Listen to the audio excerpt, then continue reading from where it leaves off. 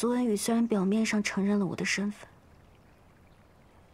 但是我俩从来都不是什么真正的夫妻，在他的心里，也只有你一个。如今怀州我是回不去了。其实我跟你一样，无依无靠，只能靠我自己，所以我才拼了命的想在苏家站稳脚跟。我之前对你所做的一切，不过是为了自保而已。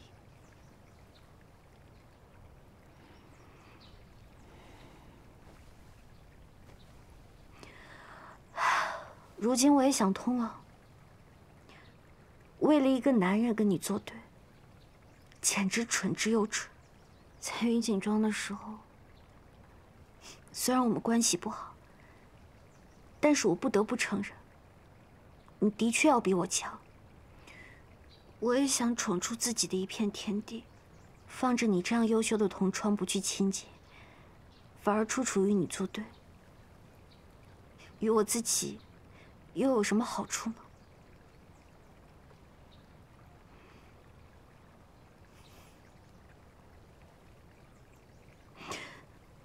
李昌，我们都放下过去。原谅对方，好不好？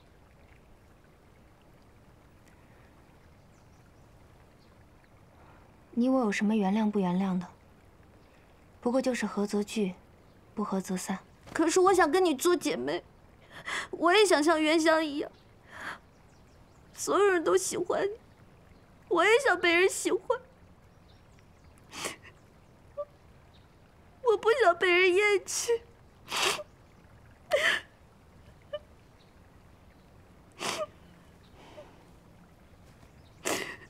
擦擦吧，不要让人看见了。这可不像你严大小姐的作风。可是人是会变的。如今你我同入瑞园，这也是云锦庄之后的第二段缘分，我们更应该携手并进才对。我还希望有什么我不懂的地方，能得到你的指点。你我各有所长。听说苏轼这次放弃了香料，只参加织造的比试，那可是你最擅长的，何须别人的指点呀？可是香草汤，岂不是更厉害？两项都参加。霓裳，你知道吗？其实我真心佩服你，你有远大的理想，我真的挺佩服的。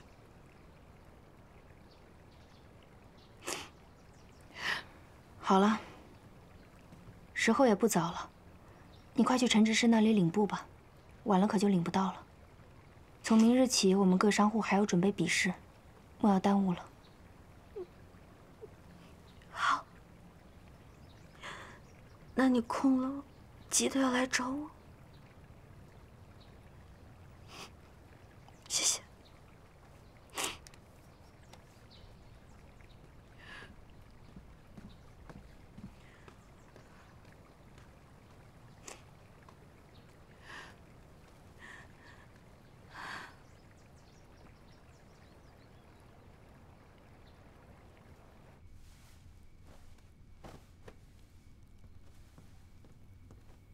还不睡啊？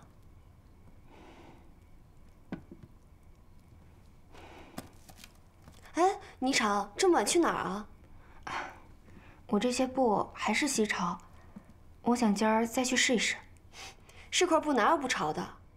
这兰昭湿热，潮气也重，我若是能做出防潮的布，岂不是更有胜算？这倒也是。我要是能有你一半的精力和心思，我就不用整日挨我娘的训了。行，你快去吧。那我先睡了。嗯，你睡吧。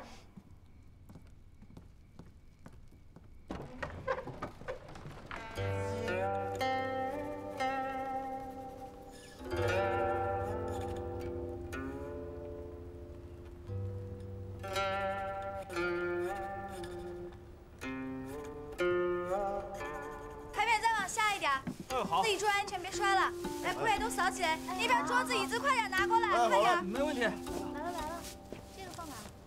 这边。来快点啊！来，这个给我，你去那边吧。好。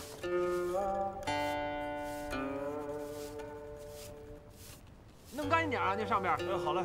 哎呀，你你看着点啊。哎。这种粗活怎么你干啊？您说话呀，我来不完了吗？哎呀，你笨手笨脚的，你要帮忙就帮，话那么多。走开走走开。我帮你干活，你你还数落我？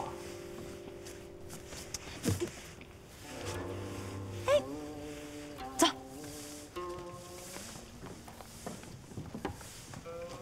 王爷，这院儿也忒背了，怪不得那么多年都没人住。您这是何苦啊？非非得住这儿啊？院子虽然不太好，但位置却极佳。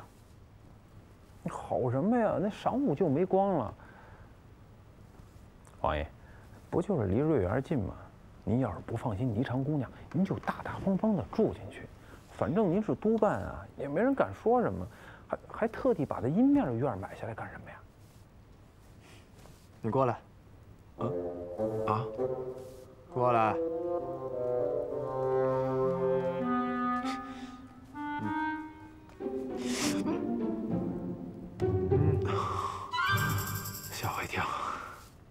我问你，这里除了离瑞园近以外，还离哪里近？公事局啊。很好。然后呢？嗯，然后，哦，王爷，您是要监视公事局啊？公事局要洗货，还非得通过瑞园不可。咱们的院子吧，僻静清幽，也不打眼儿，就像黑夜里的一双眼睛一样。高悬府上，给本王盯紧了。王爷，您放心，那小子绝对跑不了。去吧。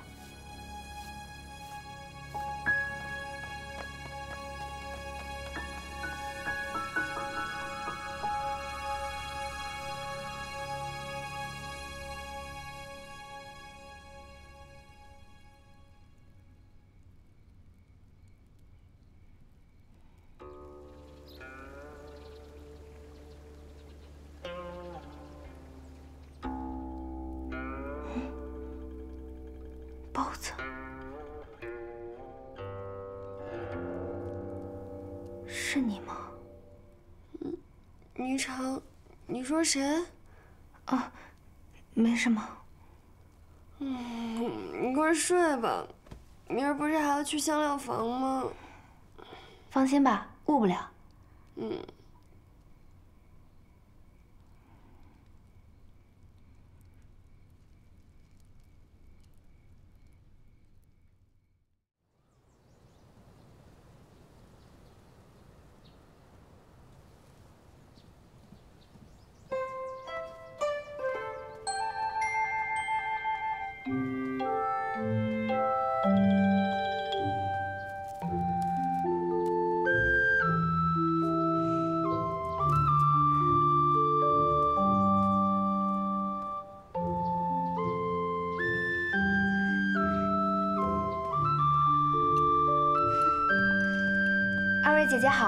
是香草堂的霓裳。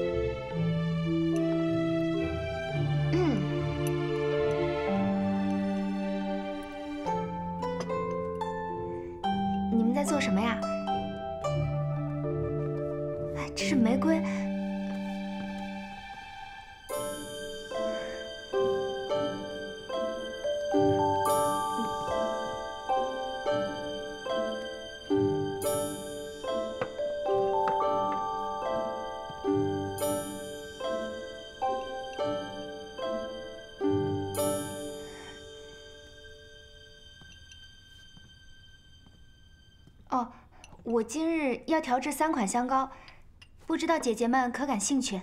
我们可以切磋切磋。香草堂的东西，我们可不敢高攀。你呀，还是自己做吧。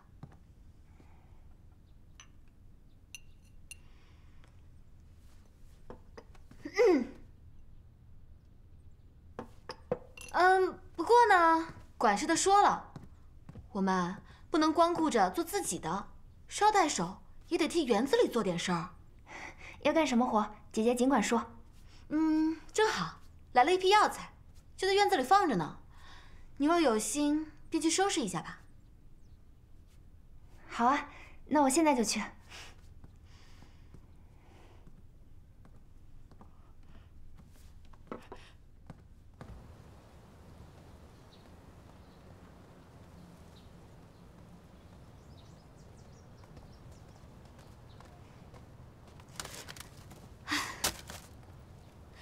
这个红枣，它有点长，要在太阳底下摊开晾晒啊。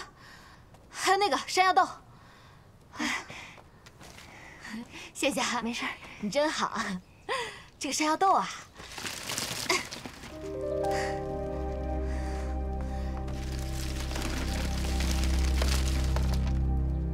它也是要这样啊，一颗一颗把它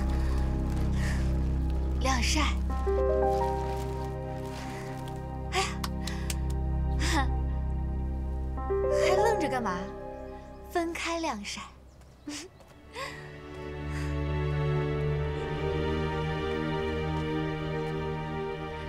这馊主意你都想得出来，真怂！他呀，不是咱们惹不起的大红人吗？我偏要为难他。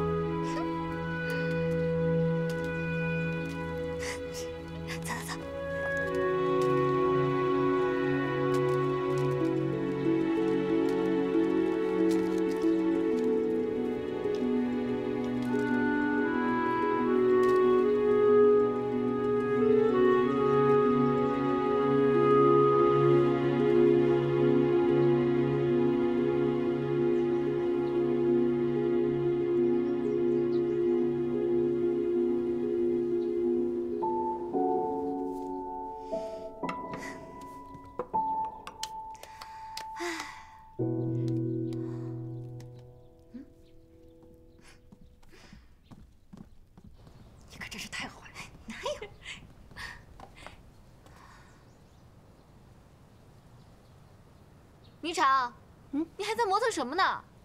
太阳都快下山了，还不赶紧去晒药材？我早就分开晾晒好了。都分开了？不可能！不信的话，你们自己去那儿看啊。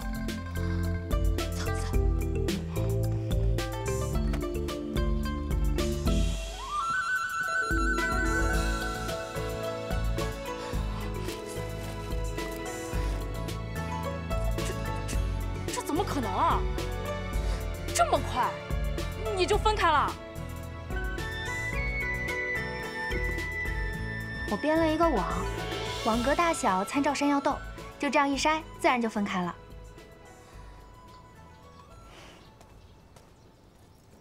公主殿下，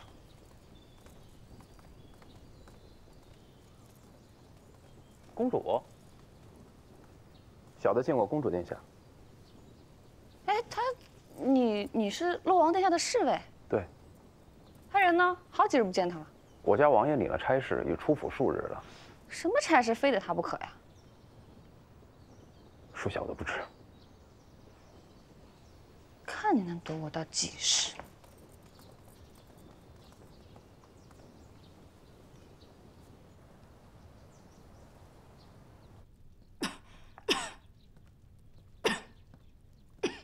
两位姐姐好。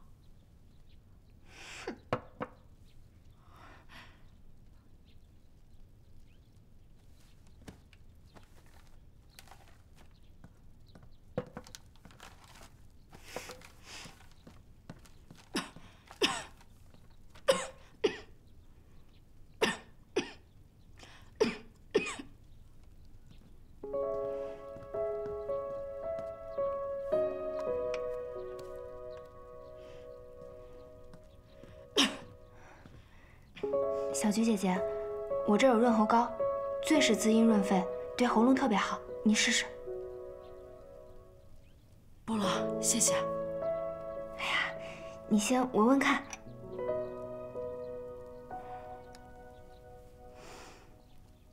哇，好香啊！你加了什么？感觉特别神清气爽。你可不可以教教我？好，这里面是……少在这假惺惺，跟我们套近乎。我从未得罪过你，为何你处处针对我？针对你，少给自己脸上贴金了你。玉清，大早上的你这么大火气干什么呀？你胆小惧他，我可不怕他。咱们都是选进来的，凭什么矮人家一截儿？啊，这种大商户什么都不用干，我们这种小门小户就什么都要干，凭什么呀？别嚷嚷了，玉清，我现在头特别疼。你没事吧？要不你先回去休息。你今天干什么？我帮你全干了。不用不用，我自己的事情自己做。我这就回去休息一下。明白，你的独门秘方嘛，把我偷学了去呗。那要不我扶你回房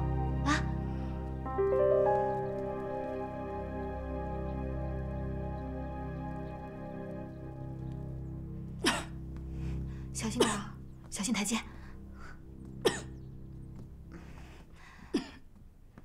慢点儿，来，坐下。哎，这个我先帮你放下。来，把被子打开，然后，哎，哎呀，这个这个枕头怎么又睡实了？一点都不松软。哎，正好，昨天晾的茉莉花瓣刚好晒干了，我给你换下来，好不好？等着啊！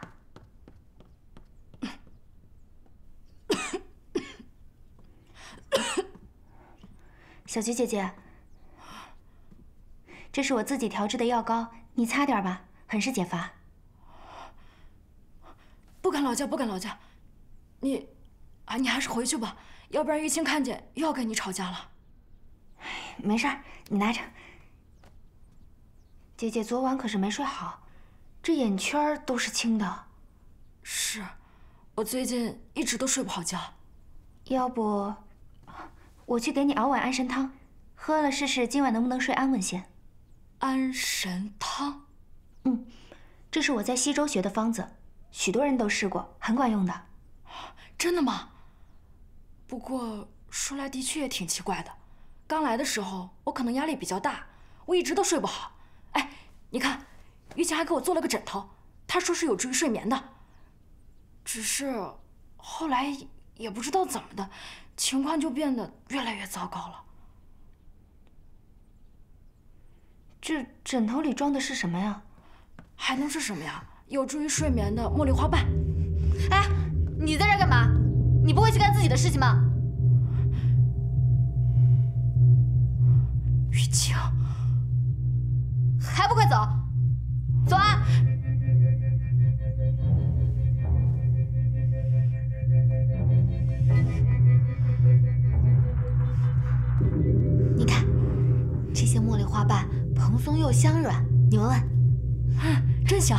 你今晚睡个好觉。嗯，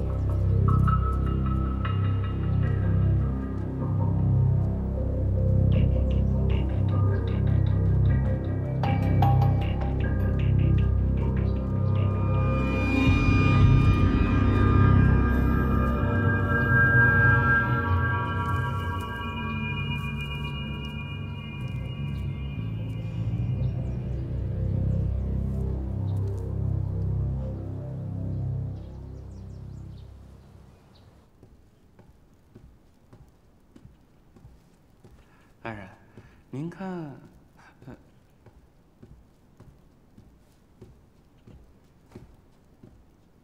袁大人，这是这个月的供银，请您笑纳。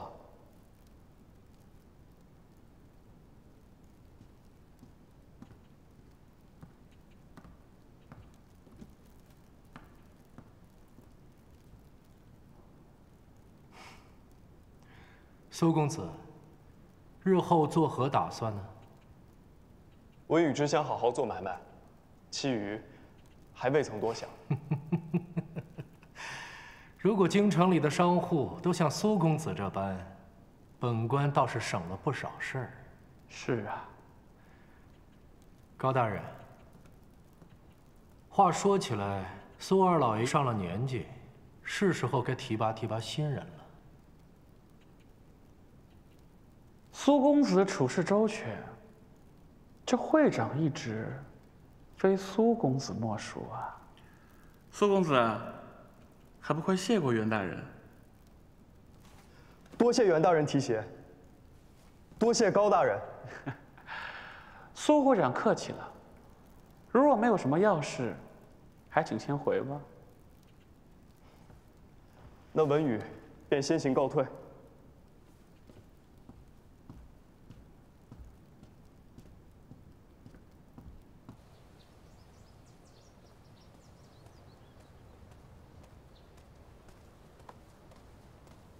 霓裳，好久不见。苏公子，别来无恙啊。霓裳，你可愿加入行头会？香草堂会比现在更上一个台阶的。现在行头会会长是我了，有袁大人提携，我不会像二叔那般对你的。恭喜苏公子了，但香草堂是小本生意，从未想过加入行头会。但是我还要提醒你一句，这公事局干系繁杂，你还是不要参与太多为好。霓裳，我这么做都是为了你好啊！我苏公子何必为我而活？我还有事，先走了。霓裳，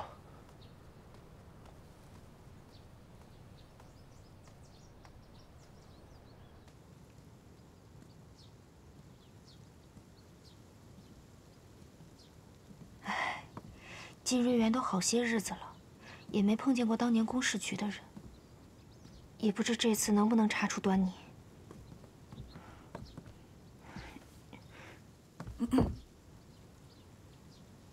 小琴姐姐，霓裳姑娘，我是有急事才过来找你的。特别着急吗？嗯，不知道姑娘现在能否随我出去？我们午时要点名，赵执事说了，务必不能缺席。现在离午时还早，走吧。啊，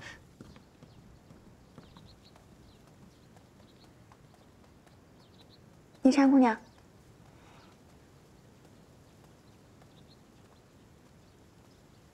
小琴姐姐，你这是要带我去哪儿呀？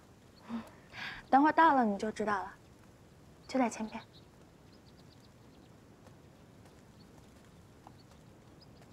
霓裳姑娘，请进。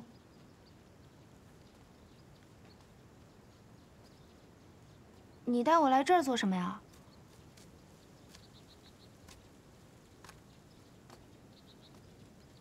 小琴姐，小琴姐姐，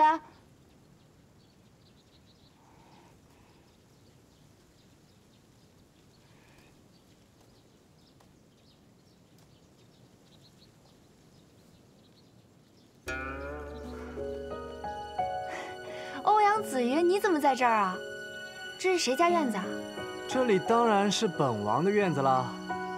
不过呢，也是最近才刚买下的，你何时买的？大约一个月之前吧。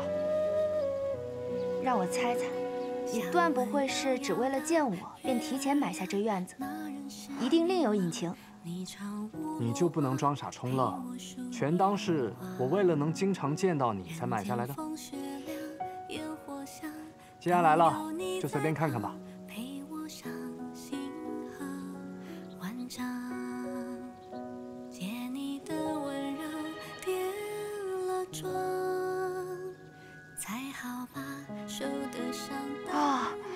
原来我在晚上听到的琴声真的是你弹的，我还以为是我听错了呢。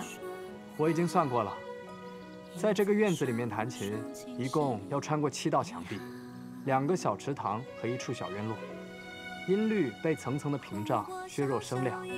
除了听过我抚琴的你，应该没有人能注意得到。那若是我也没有听出来呢？你当然能听得出来，因为是本王专门为你弹奏的。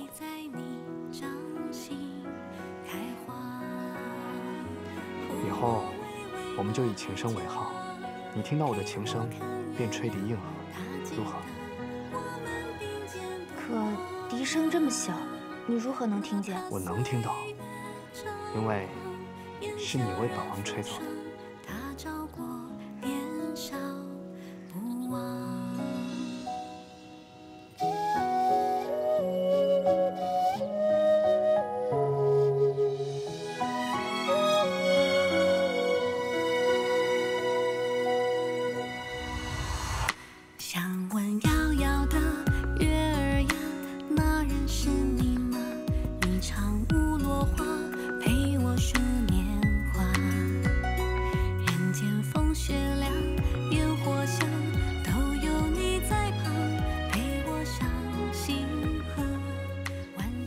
最近在瑞园过得如何？一切都好，只是这瑞园可没有想象中那么简单。你知道吗？有几家入选的商户可是使了银子才能进来的。我知道，你知道？这本就是公事局谋财的门道之一，有何稀奇的？不过你放心，本王一定会抓到狐狸尾巴。殊不知在这儿能不能查到当年案子的线索，更不知从何查起。你要有耐心。这瑞园里有很多公事局的老人，一个个查，一点点抠，总能找到端倪的。可我只有不到四十日的时间了。如果可以靠这次竞标大会扳倒袁道成的话，那线索就会暴露出来。你可不要心急啊。嗯。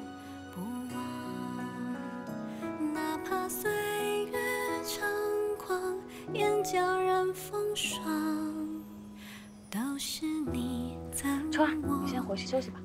无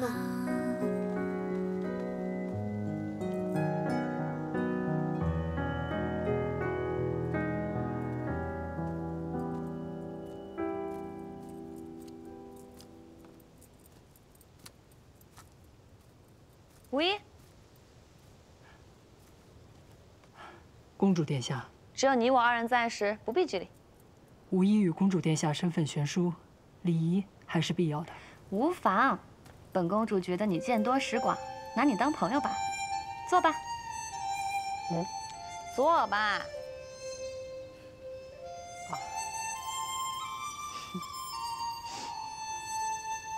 哎，你是凡间人士？公主何出此言？听你口音啊，和本地人如出一辙。我只是小时候在凡京住过几年而已。不必掩饰了，我知道你有自己的秘密，但若你不说，本公主绝不追问。如果你有什么需要帮忙的，一定要开口。我说过了，你很对本公主的脾气。多谢公主体恤。嗯。天色也不早了，早点休息吧。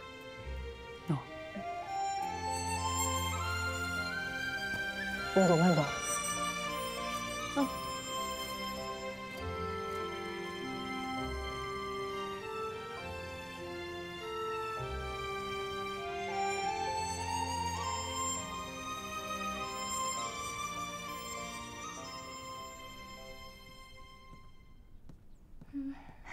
小菊姐姐，来，快把汤喝了吧。哎，谢谢，谢谢你了。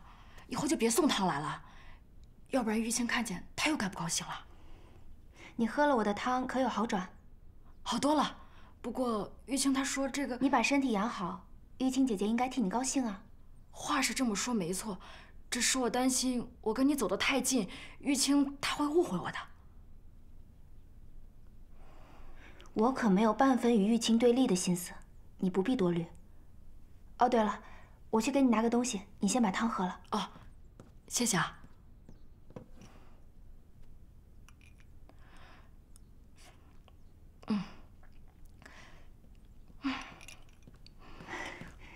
给，嗯，不用了，不用了，于清已经给我做了一个枕头了。他给你做的那个茉莉花枕对你效用不大，不妨用用我这个试试呗。霓裳，谢谢啊。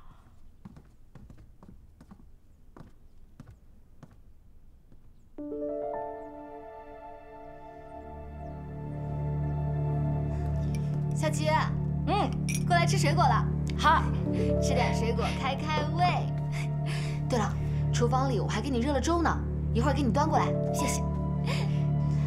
哎，我发现你的气色好像好些了，是吗？你也发现了？嗯。所以一定是我做的枕头起效用了。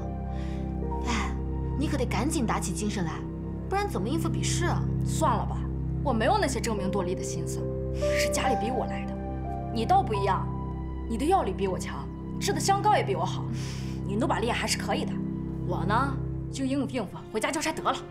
胡说呀你！嗯，明明是你药力比我强，你们家名声也比我们家强。如若你能夺魁，也算是实至名归啊。就我这个身体，夜夜梦魇，白日连精神都没有，还夺魁呢？快算了。所以说，你才要好生调养。不能过于劳累了，我看呀，你这晚上的功课就别做了吧，啊，嗯，还是你心疼我。哎，那你先吃着，我去厨房给你看看粥好了没啊？谢谢。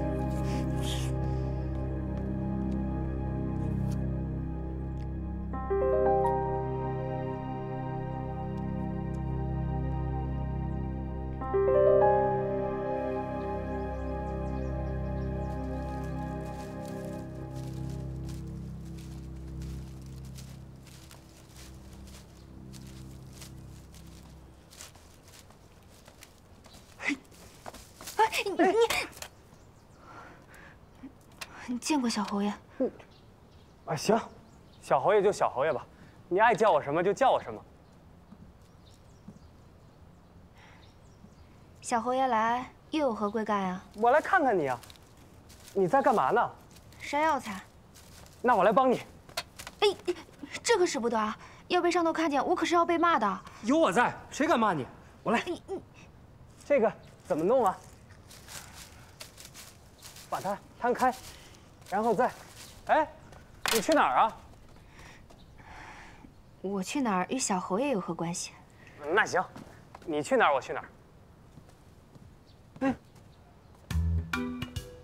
你们瑞园就这么大呀？哎，霓裳，瑞园外头开了好多的海棠花，像花海一样的，你跟我去看看吧。霓裳还有些杂活，就不去了，还请小侯爷不要见怪。哎。你跟我说话偏要这么别别扭扭的吗？除非您答应别再来害我。我不放心你。有什么好不放心的？我……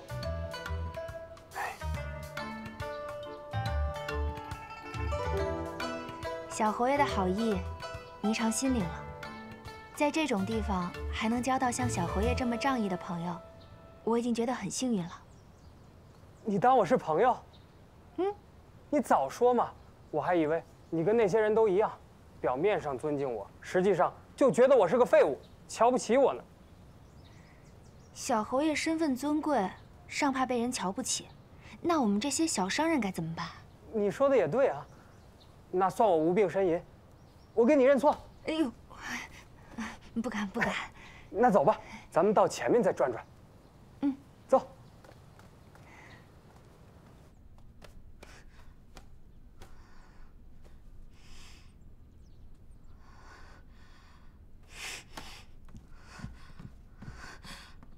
霓裳，你过来，我有话问你。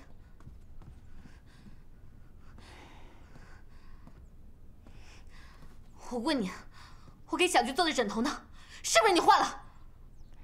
是啊，小菊姐姐连日梦魇，这是我给她做的枕头。你，那我做的枕头呢？我给小菊姐姐做的枕头里，除了茉莉花，还有薰衣草、芦苇粉等十几种药材。她用了几日之后，梦魇已好了大半。谁问你这个了？我问你，我给他做的枕头呢？我扔了。你扔了？且问玉清姐姐，你给他做的枕头，可是只放了晒干的茉莉花瓣？当然。怎么了？可我怎么从换下来的残渣里发现，除了茉莉花瓣，还有蚕酥粉？可能姐姐不知道吧？这蚕酥粉呀，除了能够镇痛消肿之外，最大的作用便是能提神醒脑。用过之后会莫名的振奋，可这若是用在安睡枕里，便会引人梦魇不断。我我知道，你不是有意要害他的，只是想让小菊姐姐夜里睡不好，白天精力不济，也就无法用心备选，你就会少了一个对手。但现在我将她的枕头换了，她的梦魇也好了。此事，你就当从未发生过，我也绝不会再提。等等，你当真不会再提？只要你恪守本分，真心待姐妹，我自不会再提。只是我不希望这样的事情还有下次。玉清，赵执事叫你过去一趟。小侯爷，哎呀，哎，我全身都好痒啊，好难受啊！小侯爷，不可乱抓呀，抓破了就会全身溃烂。这怎么办啊？小侯爷有三长两短，十个脑袋都不够掉的呀！我太痒了。小侯爷，您别着急，您别害怕，药马上就来了。曾太医，您能确定是什么病吗？痒死了。看症状与天花有些相像。我家小侯爷怎么可能得天花呀？你给我放开！但小侯爷神志清醒，又无发烧与昏聩，我我也说不好是不是啊？你们别抓着我！小侯爷，别抓了，痒死我了！我们是香料房的，来送药了。还愣着干什么呀？赶紧过来啊！霓裳，你别过来！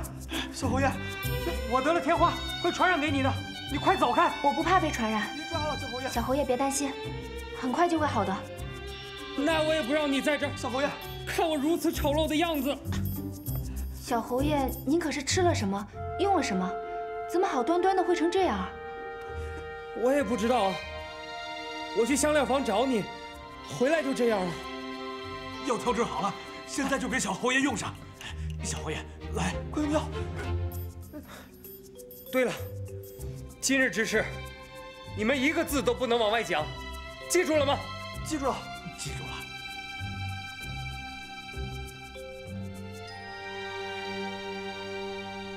小侯爷进了这香料房，回去就发病了。难道是碰了什么东西？可别牵连上咱们。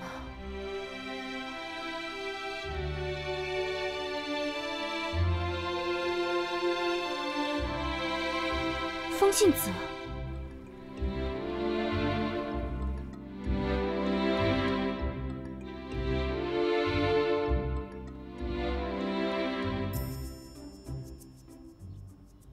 曾太医，我家小侯爷怎么样了？小侯爷所生的疹子并非天花，而是花粉症。幸亏用了霓裳老板调制的药膏，再过两日就可痊愈了。啊！可吓死我了！万幸万幸！霓裳老板，这次有劳你了，多谢多谢。不用客气，所幸这次是有惊无险。哦，那也有劳曾太医了。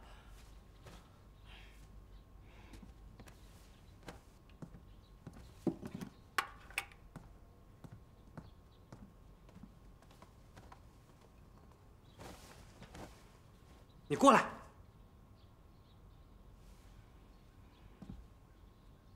再过来一点儿。哎呀，我要跟你说悄悄话，又不会吃了你。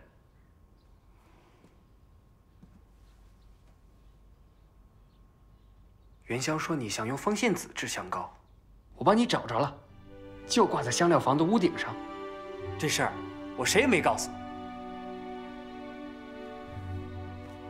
小侯爷以后莫要再碰这种花了。我知道，此事一嚷出去，你们瑞园可就不得清静了。索性绝口不提。你说，我是不是很聪明？霓裳感激您，多谢侯爷。这个情，是你欠我的，我先记下来，以后你要还啊。